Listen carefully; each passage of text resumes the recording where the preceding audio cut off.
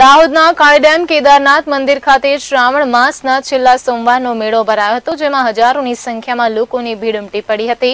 મંદિર ઉપરથી વહેતું રહે છે બારે માસ ઝરણો.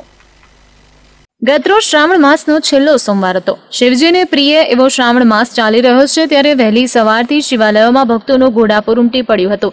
ત્યારે દાહોદના કેદારનાથ મંદિરે મહાદેવના દર્શન કરવા વહેલી સવારથી જ ભક્તોની લાંબી કતારો જોવા મળી હતી. દાહોદથી દસ કિલોમીટર દૂર ચોસાલા ગામ ખાતે આવેલું ભગવાન મહાદેવનું ઐતિહાસિક મંદિર કેદારનાથ મહાદેવ મંદિર.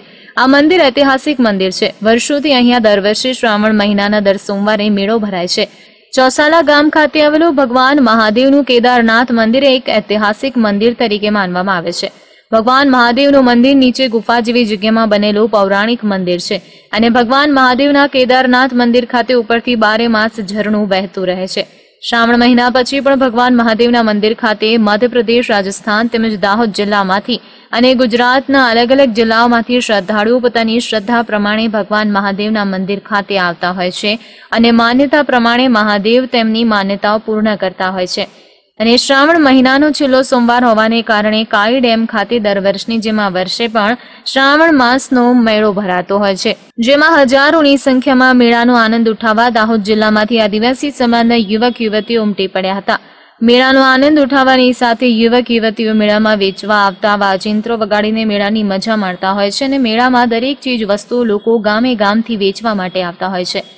દાહોદ પોલીસ પણ મેળામાં ખડે પગે ઊભા રહી કોઈ અનિચ્છનીય બનાવ ન બને તે માટે પૂરતો બંદોબસ્ત ગોઠવી મેળામાં મજા માણવા આવતા લોકોને સુરક્ષા પૂરી પાડી હતી.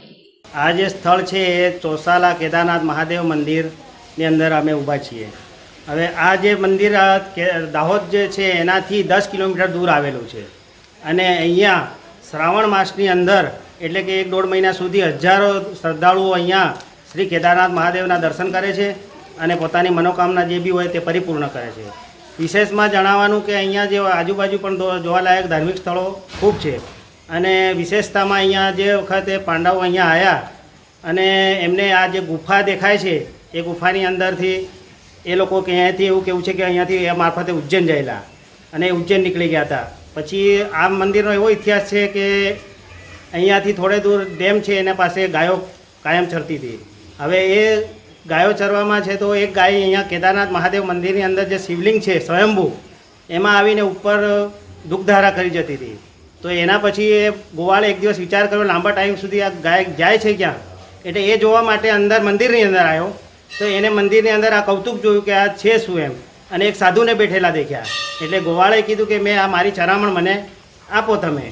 એટલે એના બદલામાં જે સાધુએ એને ચરણ, ચરામણના રૂપમાં એને જવ આપ્યા. અને એ જવ લઈને એને એ સમજો કે જવ હશે એમ. એને પણ જે આ વિસ્તાર છોડ્યા પછી એને દેખ્યું તો એ સોનાના જવ હતા. એટલે એ પણ એ રીતે ધન્ય થયો અને આનો ઇતિહાસ બહુ પુરાણો અને આ રીતનો છે. દીપેશ દોશી સાથે લાઈવ ગુજરાત ન્યૂઝ દાહોદ.